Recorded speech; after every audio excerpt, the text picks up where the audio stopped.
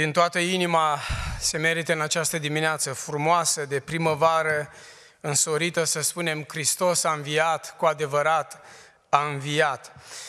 Vă rog să deschideți Cuvântul lui Dumnezeu acolo unde sunteți, în casele dumneavoastră și să privim împreună la acest pasaj care s-a citit, Ioan, capitolul 20 și de asemenea o să călătorim prin Biblie ca să înțelegem, să învățăm în această dimineață ceva despre învierea lui Hristos.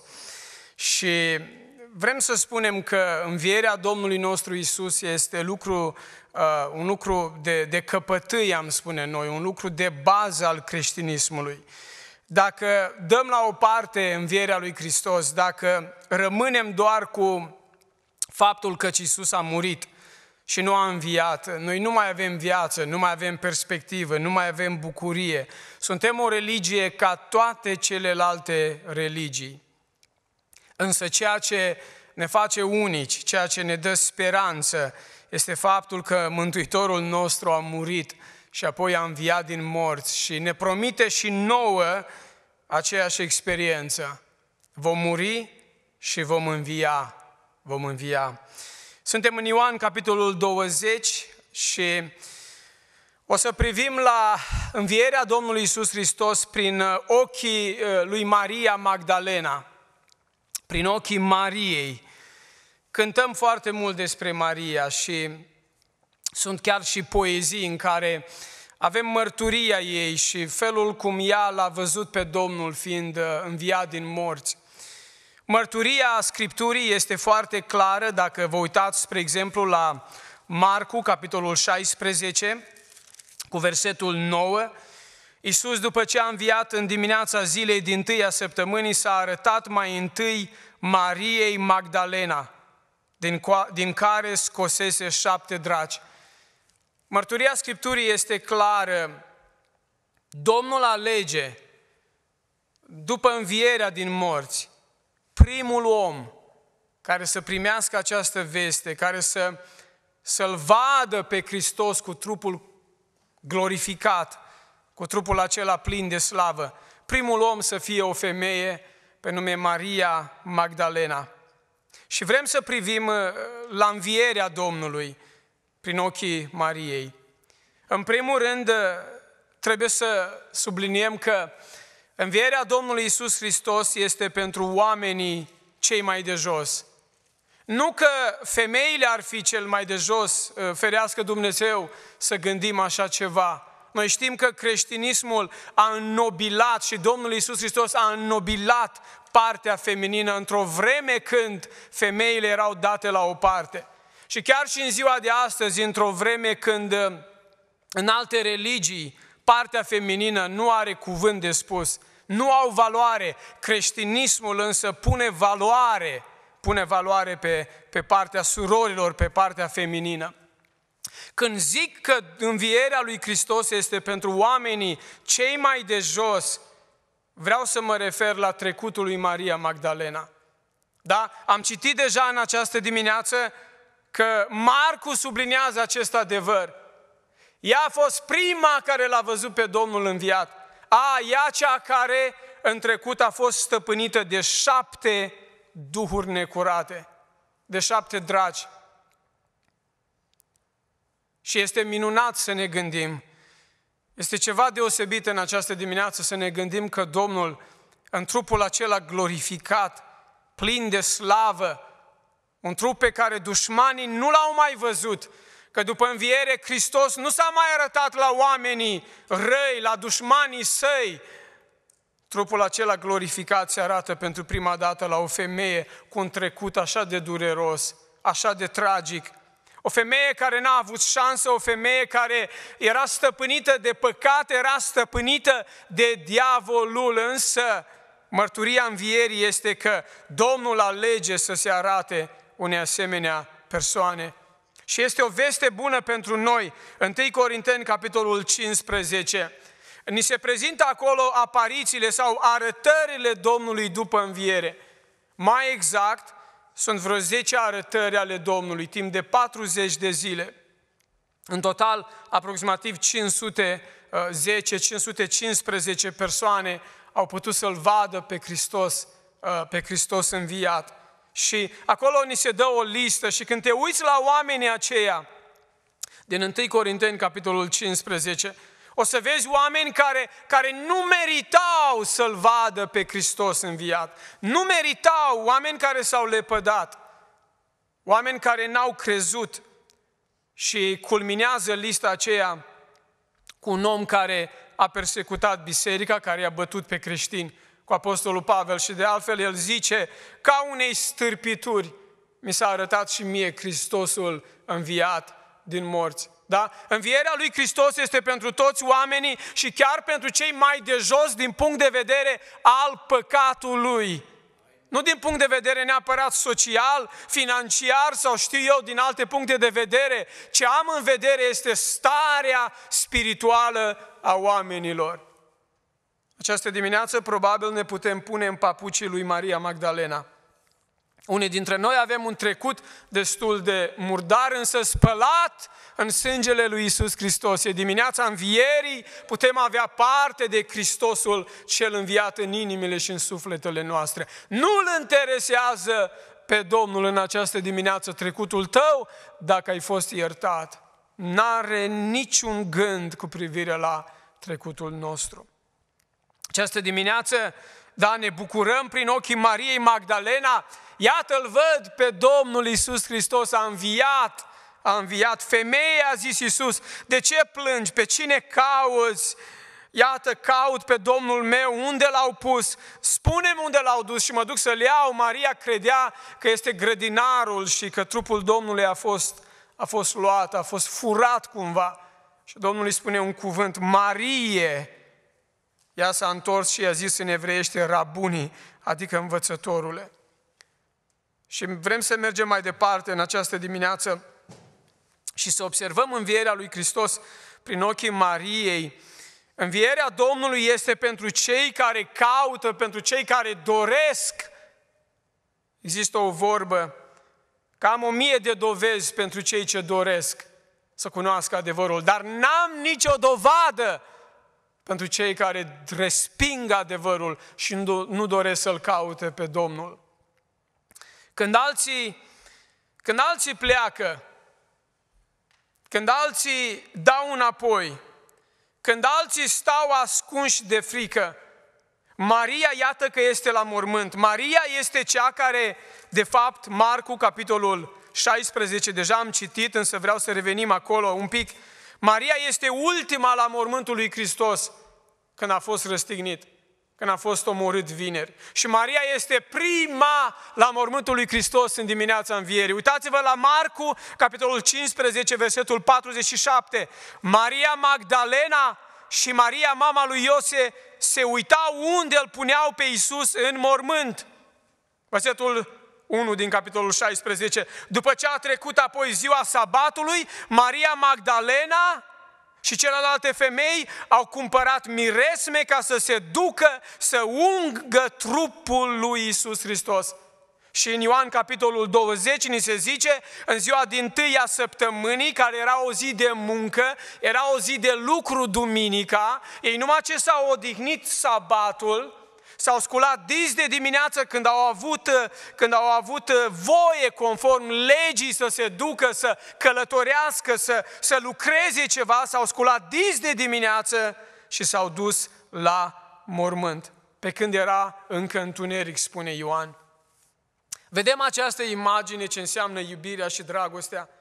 Ultima la mormânt vineri și prima la mormânt duminică dimineața de înviere. Nu-i de mirare că Domnul, că Domnul s-a descoperit ei.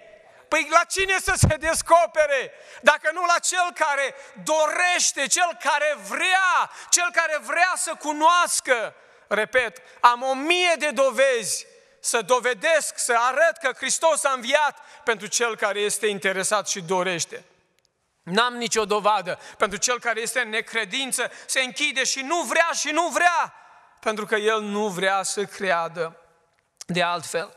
Când alții pleacă, Maria totuși rămâne la mormânt. Ă, povestea este frumoasă.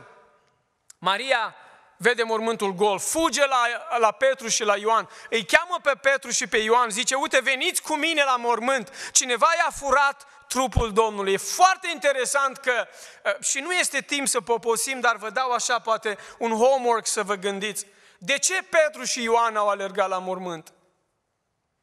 Pentru că, vedeți dumneavoastră, vineri, vineri când Hristos a fost răstignit, cel mai jos căzut a fost Petru. S-a lepădat cu blestem. Însă cel mai înălțat, să zicem așa, cel mai bine văzut este Ioan care stă la cruce. Da? Petru a fugit, Petru a plecat, Petru i-a fost frică, rușine, s-a blestemat, s-a lepădat de Domnul, Ioan însă rămâne la cruce și Domnul, Domnul de pe cruce chiar vorbește cu Ioan și îi încredințează pe mama lui, da? Deci vedem cel mai bun ucenic și cel mai, dacă pot zice, cel mai rău ucenic. Însă la înviere, ăștia vin înapoi împreună, da? Pentru că îi leagă ceva, îi adună ceva împreună și anume învierea, învierea lui Isus Hristos. Dar ucenicii au venit, au, s-au uitat, au văzut mormântul gol și au plecat acasă. Dar versetul 11 spune așa, și luăm de la 10, apoi ucenicii s-au întors acasă, Petru și Ioan, n-au priceput, n-au înțeles Versetul 11. Dar Maria ședea afară lângă mormânt și plângea. Bine, Petru și Ioan, duceți-vă acasă, ați plecat, nu pricepeau, nu înțelegeau, zice versetul 9, că tot nu pricepeau Petru și Ioan, că după Scriptură Iisus trebuia să învie din morți. Duceți-vă acasă. Eu, Maria Magdalena, aleg să rămân aici la mormânt și să plâng da? Pe când plângea, dar Maria ședea afară lângă mormânt și plângea. Pe când plângea, s-a plecat să se uite în mormânt. E gol mormântul. Hristos nu mai este aici, a murit. Nu a înviat în mintea ei, încă nu înviase Hristos. Încă nu i s-a descoperit lucrul ăsta. Iată însă că stă și plânge. Îmi place devoțiunea ei, chiar dacă doctrinar, ea nu știa, era în neștiință, nu cunoștea devoțiunea ei față de Domnul. Iubirea, dragostea ei este remarcabilă. Am notat în pasajul acesta de trei ori neștiința lui Maria Magdalena. Nu cunoștea. Uitați-vă, vă rog, la versetul 2. Au luat pe Domnul și nu știu unde l-au pus. Nu știu unde l-au pus pe Domnul meu. Da? Uitați-vă apoi dacă vreți, la versetul 13. Pentru că au luat pe Domnul meu și nu știu unde l-au pus. Repetă lucrul acesta către îngeri. Uitați-vă la versetul 14. Dar după ce a zis aceste vorbe, s-a întors și a văzut pe Iisus stând acolo în picioare, dar nu știa că este Iisus. Nu știa că este Iisus neștiința lui Maria. Ioan vrea să ne sugereze această idee de învierea Domnului. Nu cunoaște, nu știe. În ciuda neștiinței ei, iată însă că rămâne, rămâne lângă Domnul pentru că învierea lui Hristos este pentru oamenii sinceri, oamenii care caută. Nu avem toate informațiile. Nu le avem toate informațiile. Nu știm o mulțime de lucruri. Știm însă un lucru că vrem să-L cunoaștem pe Hristos cel înviat din morți și Domnul ni se descoperă. Dar învierea lui Hristos este pentru cei ce caută, cei ce doresc. În ciuda tragediei de vineri, în ciuda tragediei de vineri, când toți ucenicii au fugit, când toată lumea a alergat, în ciuda colapsului, în ciuda faptului că a existat o zi unde n-a făcut nimic, sabatul, a existat o zi însă de duminică, o zi de primă zi a săptămânii, cum spune Biblia. Și pentru Maria asta a contat. Vreau să fiu la mormântul lui Isus Hristos. Chiar dacă în mintea ei el era mort, era un cadavru în mintea ei.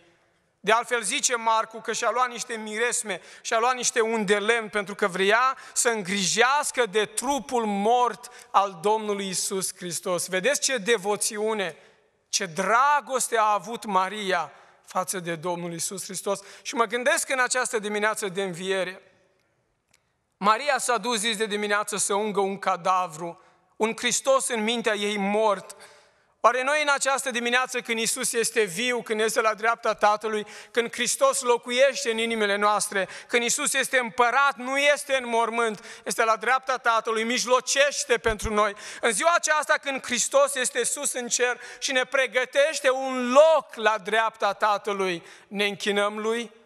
Venim oare cu ce avem mai bun să oferim, să-i dăm. Să știți că sărbătoarea aceasta de înviere este specială pentru noi, chiar și în anul 2020, când trecem prin criza aceasta, pentru că noi ne închinăm Domnului Isus, care este viu în vecii vecilor. Și în al treilea rând, și vreau să închei punctul cel mai, cel mai important a acestui pasaj, acestui text, cel mai important, de fapt, punct al predicei mele, dacă aș putea să zic de înviere, este că învierea lui Hristos ne schimbă viața. Învierea lui Hristos ne schimbă viața. Vă rog, uitați-vă la, la versetul 1 și la versetul 18. Versetul 1 spune așa, că Maria Magdalena s-a dus dis de dimineață la mormânt. Versetul 18, Maria Magdalena s-a dus, aceeași Marie care s-a dus la mormânt, de data aceasta s-a dus și a vestit ucenicilor că a văzut pe Domnul și că i-a spus aceste lucruri, că Hristos a înviat din morți. Pasajul nostru începe la mormânt și se, se încheie pe, pe câmpul de misiune. De la mormânt la misiune, de la suferință, femeia aceasta a plâns, a suferit la bucurie, la vestirea învierii Domnului Isus Hristos Primul misionar din istoria bisericii creștine a fost o femeie, Maria Magdalena. Ea a fost primul misionar care a dus vestea, care a trâmbițat Iisus a înviat din morți. Credința în înviere trece criza. Femeia aceasta a experimentat o criză în viața ei, ca și ucenicii. Dar credința în înviere trece criza. De ce? Pentru că punem întrebarea, înviem la ce? La ce înviem noi, da? La o viață fără lacrimi.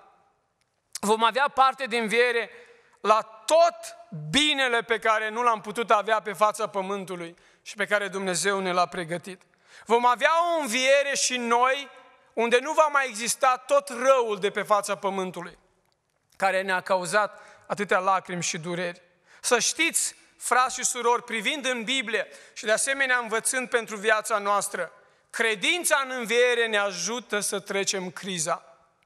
Uitați-vă, vă rog, la doi oameni mari din Biblie, Avram și Iov. Avram este tatăl tuturor credincioșilor. A existat o zi în viața lui, o zi de criză, o zi când Dumnezeu ceea ce i-a promis Ceea ce Dumnezeu l-a binecuvântat, Dumnezeu cere înapoi. Ce l-am dat pe Isaac. Te-ai rugat atâția ani de zile pentru Isaac. Ce l-am dat prin promisiune, prin făgăduință. Este tot ce ai tu, Avram, mai scump, mai prețios. Isaac. Ba mai mult, eu ți-am zis că te voi binecuvânta prin Isaac. Și Dumnezeu îi zice în Geneza, te rog Avram, așa spune cuvântul că Dumnezeu l-a pus la încercare te rog să-l aduci pe Isaac ca și jerfă. Adică să-l iei, să-l pui pe un altar, să-l tai și să-i dai foc. Asta înseamnă jerfă.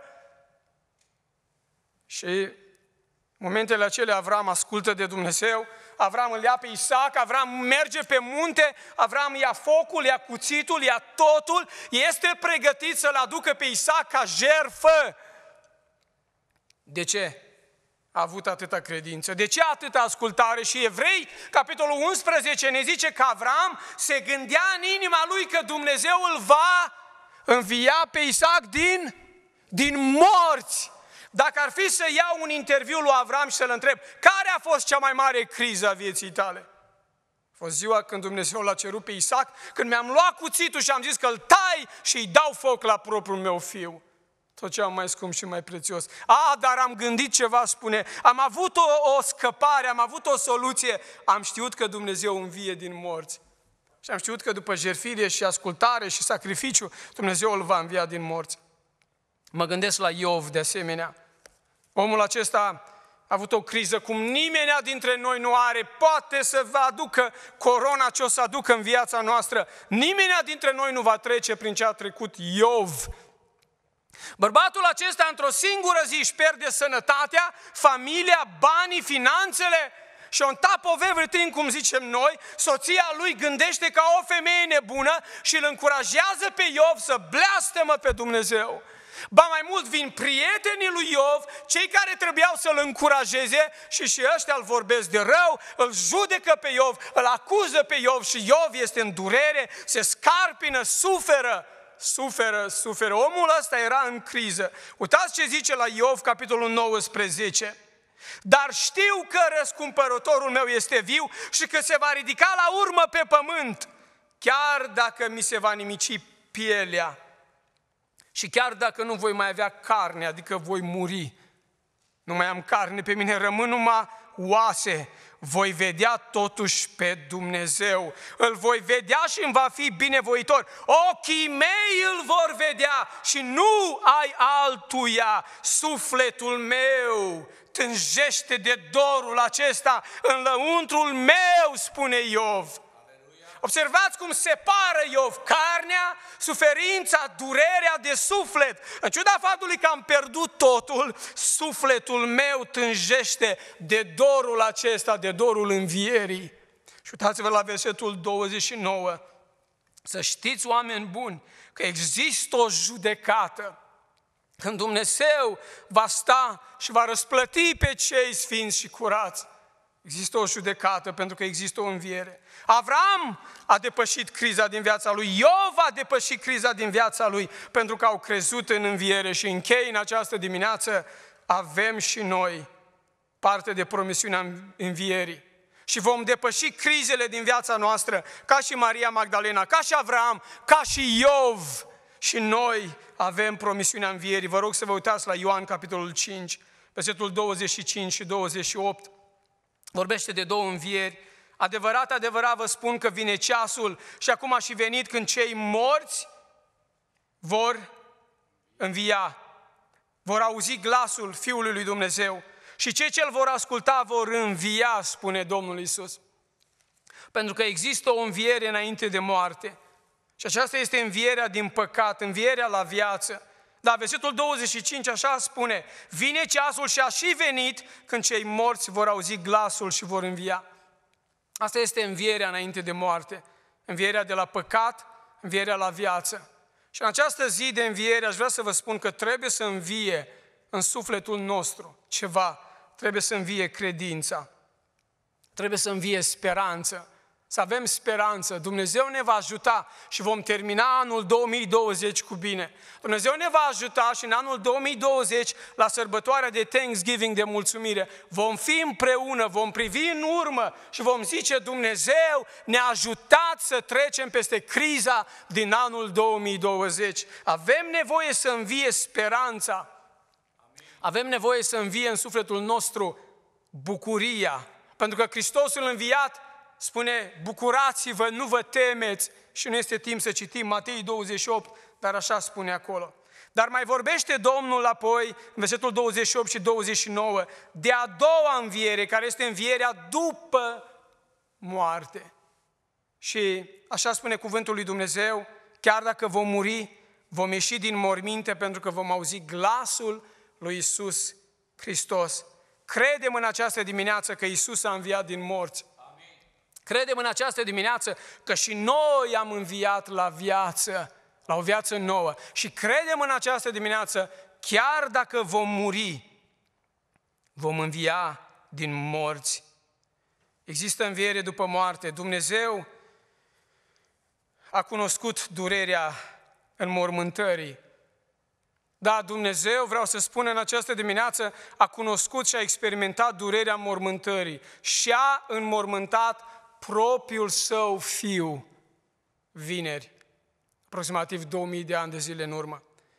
Dar Dumnezeu a cunoscut și a experimentat și bucuria învierii, pentru că duminică dimineața propriul său fiu Iisus Hristos a înviat din morți și în această dimineață vrem să spunem ce s-a întâmplat cu Iisus. Drumul pe care a mers Iisus este drumul pe care vom merge și noi este drumul pe care vom merge și noi. Eu nu știu ce aduce ziua de mâine, dar aleg să-mi pun credința în Dumnezeu.